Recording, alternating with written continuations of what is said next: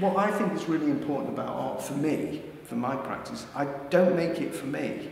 A lot of artists make it, but I make it because I think you've got this triangle um, between me, the artist, the work, and the audience, mm. or the public, and I like them to be involved in the making as yes. well as the recipient of the work. Yes. Because once it's out there, hopefully it has an effect on people. What effect I can't control it's about this empath empathic yes. kind of thing. Yes. And I, I think, I think, you know, art has this incredible ability to move people.